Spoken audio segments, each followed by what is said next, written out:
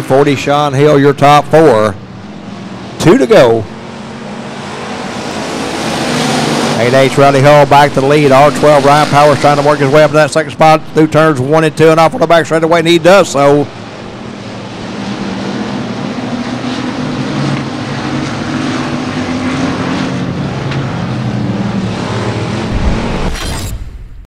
Eleventh Mike Hike Ford Factory Stocky race. Here we go.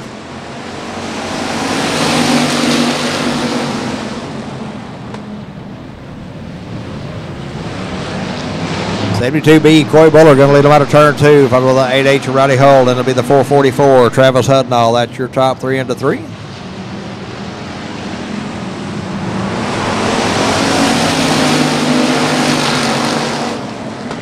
One lap in the books, 8H Rowdy Hull, your leader of the 72B Coy Bullard. Caution on the speedway.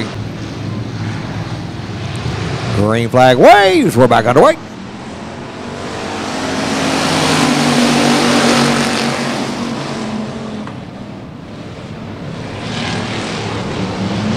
Side by side out of turn two they go. 72B Coy Bullard underneath the 8H Rowdy Hull. Hull with the advantage in turn three on that high line.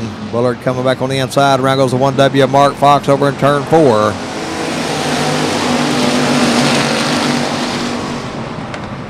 Coy Bullard, your leader that time by 8H Rowdy Hull in the second spot. P40 Sean Hill third. R12 Ryan Powers up to fourth.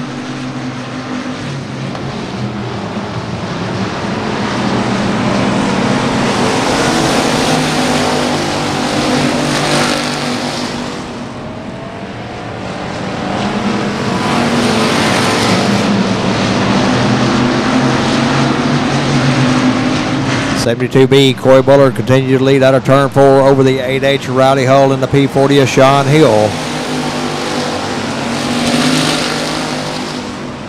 Hull in that 8H trying to find a way around the 72B of Bullard. Bullard with a good run out of turn two down the back straight where they go.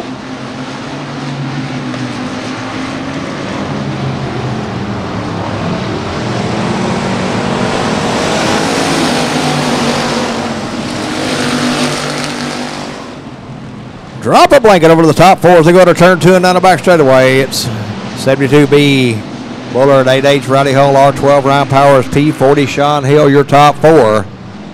Two to go. 8H Rowdy Hull back to the lead. R12 Ryan Powers trying to work his way up to that second spot through turns one and two and off on the back straightaway, and he does so.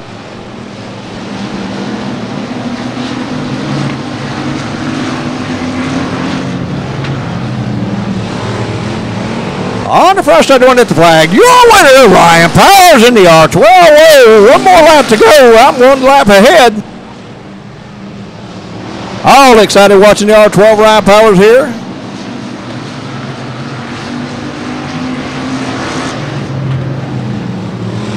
Now at the flag, your winner, Ryan Powers in the R12.